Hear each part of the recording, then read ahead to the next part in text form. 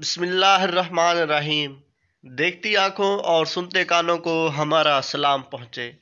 1912 का एक गर्म दिन था और जहर का वक्त था, अतालवी तोपें आग बरसा रही थीं। और फातिमा के वालिद शेख अब्दुल्ला जंग में शरीक थे। उनकी बीवी और बेटी फातिमा भी जख्मियों की देखभाल में मसरूफ़ थी।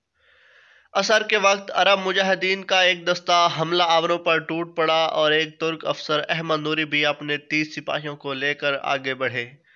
फातिमा भी उनके साथ थीं। अतालवी फ़ौजों ने तुर्क दस्ते को घेर लिया, मगर तुर्कों ने शुजात से काम लेते हुए अपने लिए रास्ता बना लिया। तहम उस कोशिश में उनके चार सिपाही ज़ख्मी हो गए। फातिमा ने दौड़कर अपना मशकीज़ा एक ज़ख्मी सिपाही के सीने पर रख दिया। वो चाहती थी कि मशकीज़े का मुँह जख्मी के होठों से लगा दे, मगर उसी लम्हे एक इतालवी सिपाही ने उसे गिरबां से पकड़ लिया। फातिमा ने बिजली की सी तेज़ी से जख्मी तुर्क सिपाही की तलवार उठाई और उस ज़ोर से अतालवी सिपाही पर वार किया कि उसके दाएँ हाथ का पंजा कट कर लटक गया। फातिमा दोबारा अपने काम में मशगूल हो गई। तहम अतालवी सिपाही ने पीछे हटकर बाएँ हाथ से बंदूक उठाई और पैदर पे तीन गोलियाँ फातिमा को दे मारी।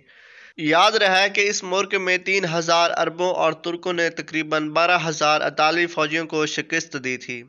जंग के बाद लोग अपने जख्मी और हलाक होने वाले साथियों की तलाश में निकले तो चार बहादुर तुर्क बेहोश पड़े थे और उनके पास ही फातिमा की लाश थी। पानी का मशकीज़ा तुर्क सिपाही के सीने पर था, लेकिन मशकीज़े का मुँह जख्मी के लबों पर न था, जिससे मालूम होता था कि फातिमा तुर्क सिपाही को पानी पिलाने से पहले ही हलाक हो गई थी।